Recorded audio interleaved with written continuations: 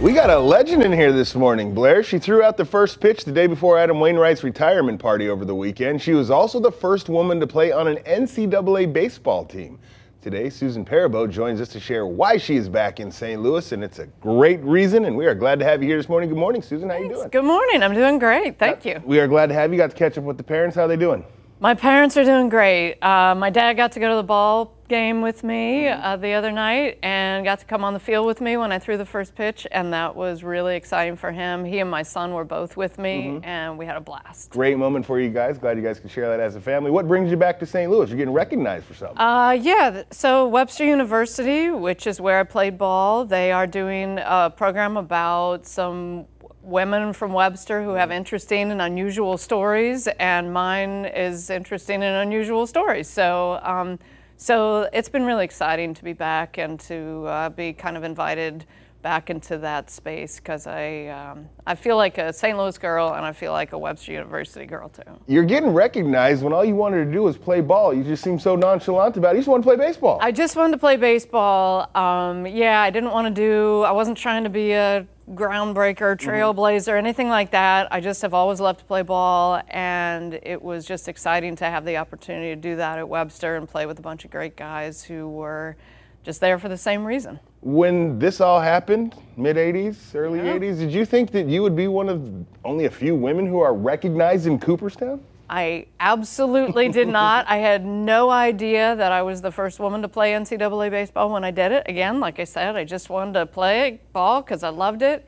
And it wasn't until several years later that I found out that I was the first woman who played NCAA ball. Mm-hmm. And I didn't even know I was in the Hall of Fame until my parents visited the Hall of Fame just because they had never been there and they were walking through they walked past the women in baseball exhibit and there was a plaque there with my name on it and that's how we found out that, that i was uh, you know there um, recognized there and, and it was uh, it was an amazing thing Kind of a big deal. I love just you're just so just relaxed about it. And you're like, yeah, it's just kind of how it's supposed to be. it's just it really it felt like you know something that i did because i wanted to and then all of these this was now uh, 35 years ago and i'm still talking about it Yeah. even though you know again I, I didn't think it was a big deal but it stayed with me my whole life and i've gotten a lot of great gifts because of it and uh, had lots of super memories so i feel really lucky You are. You are very lucky. What was it like sharing a day, if you will, with Adam Wainwright, arguably one of the greatest pitchers in Cardinals history? I I didn't mean to be sharing his weekend with him, but uh, but that was just icing on the cake. And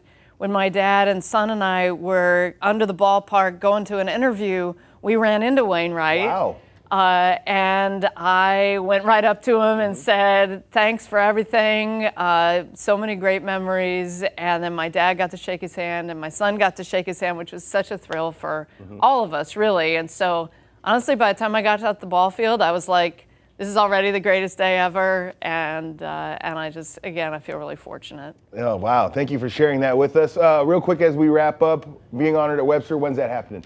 That's happening tonight. Tonight? Yeah. What time- Right. when do we There's need to a, be there? a program uh, this evening at 5:30 where they're um, recognizing some of the women who were involved in the making of the, the program. So Well, congratulations to your successes and getting to spend a weekend on Adam Wainwright's final weekend in a nice family moment. We're glad to have Yeah. you back here in St. Louis. thank you. Appreciate it. Thanks for having me. Thank you, Sarah. We'll have this full interview on our website, fox2now.com. We're back with more Fox 2 News in the morning at 8 after the break.